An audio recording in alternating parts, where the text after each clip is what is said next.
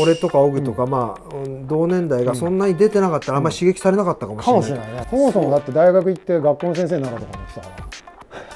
文化と同じ部屋になるともう完全に真っ赤にして寝てるんだよ。そこに2時ぐらいにそーっと帰ってきて。起こさないのに。嫌だなそのドゥンガと同じ部屋。その時あ1年目の給料いくらだったどれぐらい？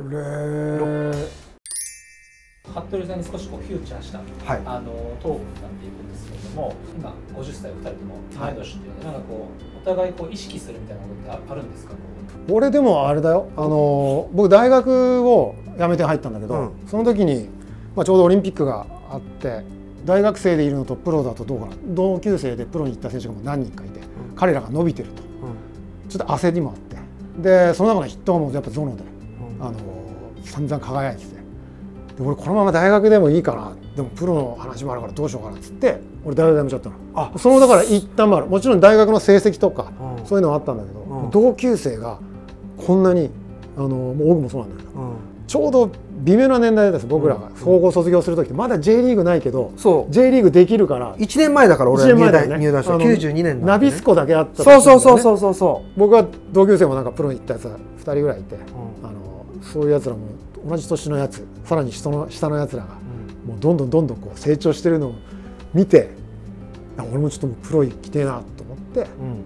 でもだからその一端はある、へー。ゾノがやっぱデビューして93年の途中から頭から？93年もう出てたもん。途中93年の開幕の途中から。途中から出てたもんね。途中から。それでもう騒がれてたから。あそうなんだ、うん。えじゃあもしかしたらその俺とかオグとか、まあうん同年代がそんなに出てなかったらあんまり刺激されなかったかもしれない,、かもしれないね。その大学もしかしたら、そもそもだって大学行って学校の先生になろうとか思ってたから。そのそのそれがちゃんとあって大学を選んだってことでしょ？もうそのそうだ。でもまだその時できプロがプロ化するけど。でも声かかったんじゃないの？いや。かかってないの。で付属東海大学の付属だったの、うん。東海大学。でそのプロに行く時は声かかったわけ？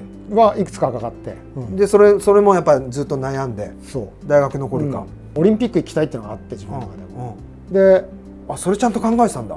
そうそうそう。でもその時ぐらい結構やめたのよ。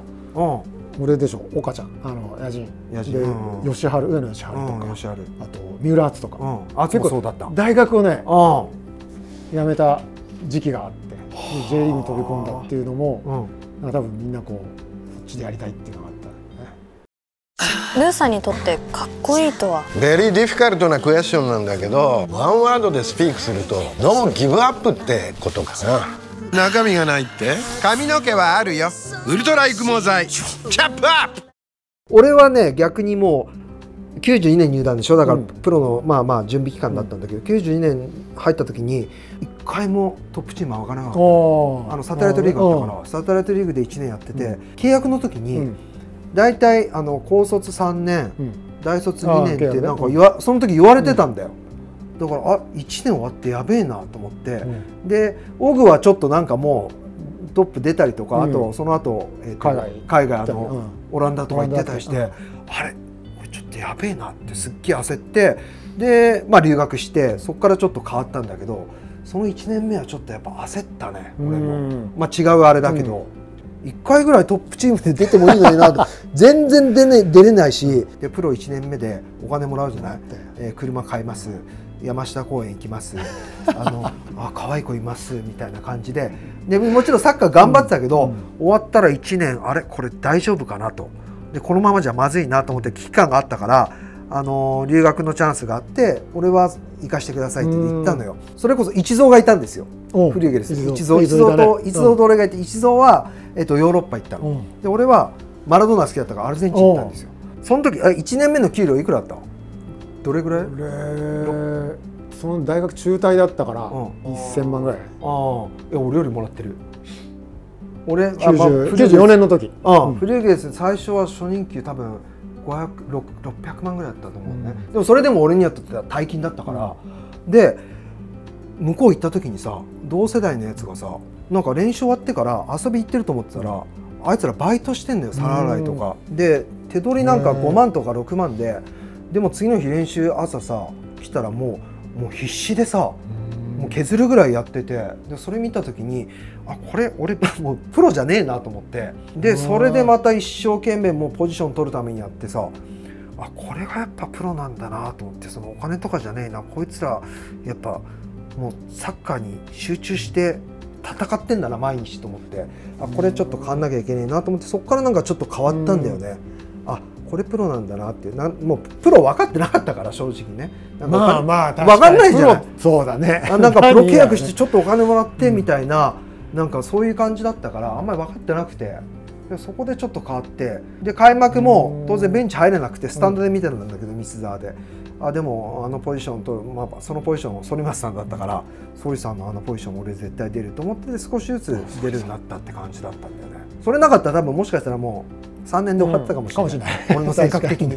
本当に。わけわかんないまま3年過ごして、高校でギューってなったらそうそうそう。そう。そのまま行っちゃってたいや本当。まあそういう選手いたからさ、うん。やっぱり。ちょっと危機感とか焦りまあ、うん。違うけど、あったかなと思うね。ジュビロ10日には？声かかった？あとはガンバとか。でもじやっぱ地元？それは？オフト。オフトの監督だったね。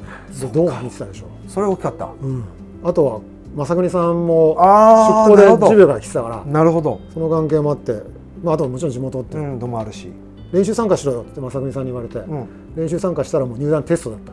よし合格だって言われて。これテストだったの？みたいな。ああそれは言わなかったんだ。そう、坂国さんは。うん言わなかっああなた1るほどね。週間一週間で最初の3日ぐらいサテライトで練習して、トップで3日やって、うん。合格だっつって。えー。えなんかどどんな感じだった？なんか手応えとかなんか緊張してたの？いや緊知ってるやつも結構吉川いたりとかあのあそれは若い選手も結構いて、そうそうそうテストだったら緊張したかもね。かもしれない逆にね。そうだろうな何にも言われなかったのね。明日からトップねって3日さでもサテライトってすごい教えてくれる。その時監督があの鈴木正和さんってあの、うんうん名称。後にね。そうそうあの人がサテライトでハンスってハンスってねオフとはこういうのがすごい大事にするからこれちょっと覚えておけみたいな感じでちょっとギュッて詰め込んでくれて。うんなるほど。でトップの練習参加して、えー、それでもじゃあもうごあの OK 契約そう。ってへえ後にだって、まあ、ジュビロの黄金期が来るわけじゃない、もう楽しかったでしょ？楽しいね。めちゃめちゃ楽しい、いやそれはそうだよね、もう思ったことがグラウンドで出せる。うん。別に練習してることが出るんじゃなくて自分たちがこう思ったイメージ通りが出る時が何回かあるともう楽しいよね。えそれはさやり方はある程度のチームとしての戦い方とか決まり事はあ,、あもちろんもちろんある。あありつつ、あとは？もうあとは個人のところで自分たちで判断してっていうのがすごいわ。でそれを、まああの合わせていくってこと。でも当時やっぱりその移籍が少なかったから、うんまあ、同じメンバーで、まあ、5年6年とかできちゃう。やれたからね。そうそうそう。まあその積み重ねがもちろん。それが一番大きかったかな、うん。フェリペってその後ブラジル監督になるのが来て、半年で帰っちゃうんだけど、ん。でもファールの転び方の練習させられるんだ。え？こう練習中にバンって当たられて、うん。倒れないで踏ん張ったら、うん。僕大好きだったんだけどうん。倒れろっつって怒られてでその後もう一回当てられて転ぶ練習するの PK だろお前これで。まあそれ俺監督に教わってないけど自分でやってたけどね俺は。そうでそういうことそうでそういうことを まあマレーシア的なことねそうまく。そういうことをまあそれそれ練習でやんの？練習なの。練習でその場でバッてやらされてるとかすごいね。だからそういうなんか勝つためにはこういうの必要だよみたいなところをこうちょっとベリベリのところで落とされて、でそれからまあドゥンガがいて、ブラジル人も負けず嫌いじゃんみんな、うん。遊びのミニゲームうんああいうのがどんどんどんどんこう積み重なっていく中に日本人たちがこうどんどんそれにあ沿って成長していって。で年齢バランスも一学年に1人とか2人ずつぐらいずっとああなるほどね。いてこう偏りがなかったのね、うん。だから仲もいいし。うん。でもまあドゥンが抜いたらスキラッチがやっぱりすごかったね。どういうこと？いやもうプレーももちろん。もちろん。だけど普段もやっぱあイタリア人ってこんな感じなのかなってもう高速高速道路のように普通の道路走るし。もういやもう多分今言っても大丈夫だけど運転めちゃくちゃ荒いしうん。バスでタバコ吸おうとして監督に止められたりとか。ええ。でも多分当時タバコってさそんなにあのだいぶそうだよ。ね、海外とかでももっとあれだし、うん。まあ、ドーハ見ればオフタバコ加えて最後やったりまあ鎌本さんもベンチでこうタバコ吸ってたからそうそういう時ね代だったけどバスで吸おうとしたりとか、うん。なんかはちゃめちゃだけどでもめちゃめちゃおしゃれだしあーなんかすげえなっていう。いやまあもちろんプレーでプレープレーがもううん。もちろんぶっちもそうだよね。ペアの中はもう一切あの捕まえられない。やばかったよね、負けても自分が1点取ってたらトトさんだトトっていうのはトト好きだ、うん。トトさん自分のことじゃない、トトさん大丈夫。ワンゴール。っつって帰ってくる。え？負けてても。負けてても？もう自分が別にゴールしたから、もういいっつって。いやすげえな。すげえな。やっぱそれこぐらいれがまあワールドカップの得点王。だね。うん。そういうことだね。でなんかあのドゥンガももう相当すごかったんでしょ？相当すごかった。もそれはもう喧嘩にもなるわけでしょ？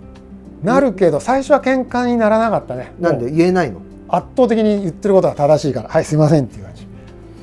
もう言い返しもできないぐらい。圧倒的に正しいもんね。それはさみんな？7とかも言い返せない？あそうなんだ、うん。で一番怒るのがこうやって言われると「あ分かった分かった」って言うじゃん日本人。ああオッケーオッケーオッケーオッケーうん。でもう一回同じことやるとうん。もうマジ切れされるね「お前分かったって今言っただろ」ってなんでまた同じミスすんだってこまあ確かに。すみません。そうだよ分かったらやっちゃダメだもんねと同じミス。みたいな。でそれが例えば左サイドバックがこういうボール蹴るのとこういうボール蹴ったらアウトしちゃうじゃん。でもこっちだったら切れないでしょ？ってどうしてもそうやって蹴った時にうん。なんとかしろみたいな。そうやったら出るだろうお前。バカがって言われる。でも確かに出ちゃうんですけど。細かいのそういうこと？細かい。で全部もう全部言ってくる、言ってくる。だから服なんかボランチ組んでて一緒やってるからね。そうそう。もう相当横で言われてうそれが自分たちが代表行ったりとか、うん。あとはドゥンがちょっと落ちてきたのよ。ん、なるほど。あのスピードとかそれまでも圧倒的だったの。がやっぱちょっとスピード落ちて対応できなくなったりとか、うん。体力的に厳しくなってきたら、うんちょっとこっちがねグッておいもお前もそうだろっていう。お前も人に言えないだろそうそうそうそう。ドゥンガにみたいな。でたくましくなってきた。らやっぱ言われ慣れもあってたくましくなってきたとか、うそういう意味では本当感謝しかないね。ん、なるほどね。先生みたい。本当に。監督とかっていうよりも先生がチーム内にいたでも真面目だからさ。あ真面目なんだ、ね、真面目。アウェーとか行くと、カードとかやるじゃん。よくやるうんわかる。次の日ナイターとか行くとみんね。もうあ朝までやんないけどもう2時とか3時ぐらいまでカードがやって。ジュビロって2人部屋だったからたまにドゥンガと同じ部屋になるともう完全に真っ赤にして寝てんだよ。そこに2時ぐらいにそーっと帰ってって。起こさないように。嫌だなそのドゥンガと同じ部屋。でも本当外人の普通に嫌だな。俺一緒になったことはないから外国人選手と。あ本当？ないないない嫌だねちょっと。まあ文化も違えばね。文化でもやっぱそれでいろいろ話もするし話っつっても片言でさしたりとかそういうコミュニケーション取るには最高だよね確かに。でもねワールドカップ優勝のキャプテン。だからね。94年だっけ、うん。アメリカ。それはやっぱり影響大きいよね。よく来たなっていう感じだね。ドイツからだったんだけどその時。そうだよね。監督としては印象に残ってるのは、まあ、ジュビロもたくさんいたけれども ルーさんにとってかっこいいとは？ very difficult な question なんだけどワンワードでスピークするとノーギブアップってことかな。中身がないって？髪の毛はあるよ。ウルトラ育毛剤。チャップアップ！いろんな監督いてまあすごかったっていうかあこういう監督ってすごいなと思ったら桑原さんっていうはい。はい。人はこの人はもう運を持ってるなっていうすごい勝ち運。うー。ん。そういう印象しかない。もちろん細かいのはあったんだけど、結局ジュビロ初優勝した時に、初優勝の時川原さん、うん。あー。だからなんか持ってしかもだからそれがフェリペの後ついでやったから確かに。そう優勝できる監督ってすごいなっていう。なかなかね優勝って狙ってもできないし、ん。カテゴリーどうであれやっぱ優勝って多分難しいからそういうのをパッて半年受けてやったってすげえなっていう。確かにまあは半年か、そうか。でそのままチャンピオンシップも勝ってとか。うん。まあもちろんそのねその運っていうのはそのチームとしての成熟してきたタイミングももちろんあると思うしそういう一つ。星のし、ね、星の下に生まれてる人っていうのはうん。いるんじゃないかなってまあまあまあね。あとは強烈なやっぱトルシエかな、みんなもう皆さんおっしゃると思うけど、やっぱあいつらあいつらじゃない あのあの人あの方は多分我々をプロとして扱わなかったもんね。多分まだ子供みたいな感じで扱うようにわざとしたのかわかんないけども。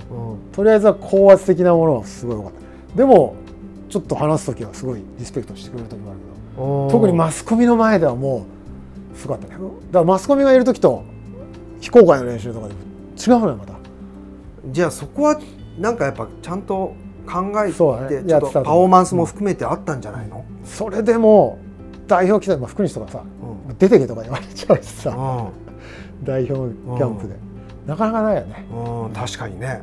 そういう意味ではまあ両方ややっぱすごいと思う。言えばやっぱ一回監督やってるから、やっぱすごいとも思うし。でもあれはねえんじゃないかとも思うし。両方そうか。いい部分とその、自分だったらっていう部分でもやっぱ代表監督ってやっぱそれぐらいやんなきゃできねえんじゃないかなとか、だから森保さんとか西野さんとか岡ちゃんもそうだけど、岡ちゃん。岡ちゃんって言っちゃうけど、あの日本人の監督やられた方たちはやっぱすごいと思うね、そうだよね、だからもっとリスペクトしろって西野さん。してる。してるんですよ。もうもうもう思いっきりしてるんですけどね。まあその距離感がまたね昔から知ってるから。監督経験あるじゃない、あと、うん何が難しいの？何が大変？やっぱマネジメントだよね。そのチームチームの選手のマネジメント、もうだしすべて。スタッフも含めて、まあ、あとは営業もあればあのいろんなお金のこともあるし、うん。まあ、全部触るわけじゃないけどやっぱ全体的なマネジメントっていうのはどうしてもかかってる、難しい。うん、でも面白いけどね、面白い？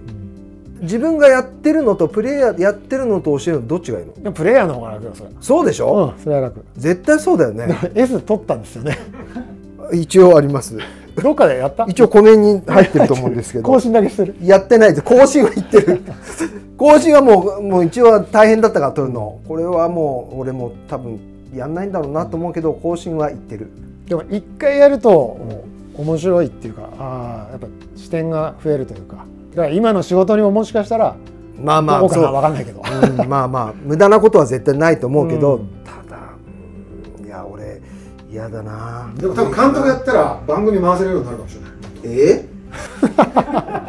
こういろんなところにこういろいろ見といてあちょっと喋りたそうだなっつってなるほどみたいな。うん、MC 的な立そう場で MC 的なまあそそここまあそういうような位置ってことだよまあ結局そういうことだよね。マネージャーだから言い方変えれば、まあ、いろんなものそうマネジメントで。誰に今ね声かけて誰は今ちょっとわざとほっといてとか、どういう声かけしようとか。人によってとか、今調子いいのか調子悪いのか。それによっても声かけ違うし。うわー。絶対嫌だ。もう今聞いただけで嫌だねまあまめな作業だよね。そうだよね、うん。まあまあもちろん大変だと思う。そういうのがまあまあ得意じゃないそうだね。